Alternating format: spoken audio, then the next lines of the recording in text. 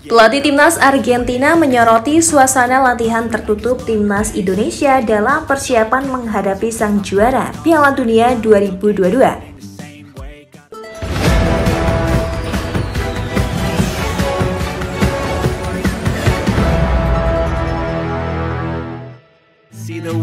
Look at me, I'm such a disgrace I never really asked to be brought into this place You wanna love me, well then Sintayong memimpin latihan timnas Indonesia di lapangan Asnayan Sesi penempatan skuad itu dilakukan sebagai persiapan menghadapi timnas Argentina pada FIFA Matchday di Gelora Bung Karno. Namun dalam latihan itu terdapat hal yang tak biasa dilakukan oleh timnas Garuda.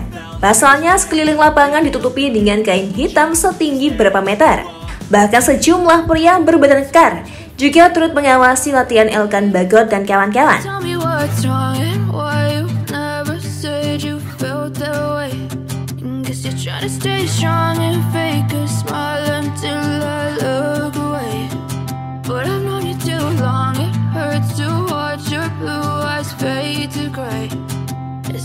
Mendapati keanehan tersebut, pelatih timnas Argentina, Lionel Scaloni pun turut mengomentarinya. Dalam latihan Sintayong, pelatih tim rival menutupi propertinya dengan kanvas hitam.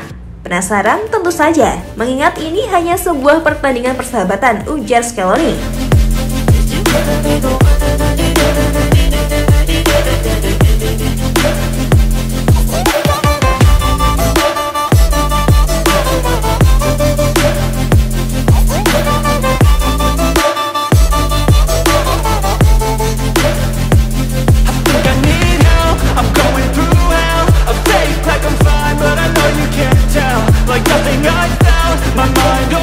Sebelumnya Sintayong sendiri mengemukakan alasan kenapa menutup sekeliling lapangan dengan kain hitam. Ia ingin pasukannya berkonsentrasi penuh terhadap latihan dan materi yang didapatkan.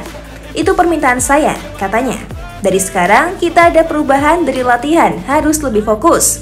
Kalau nggak tertutup, pasti fokus menurun, ujar pramu taktik asal Korea Selatan.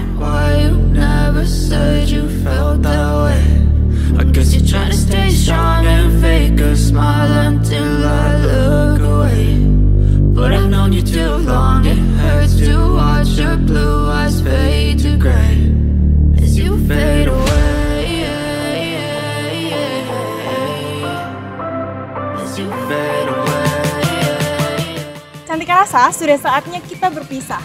Khusus buat kamu, nggak perlu khawatir.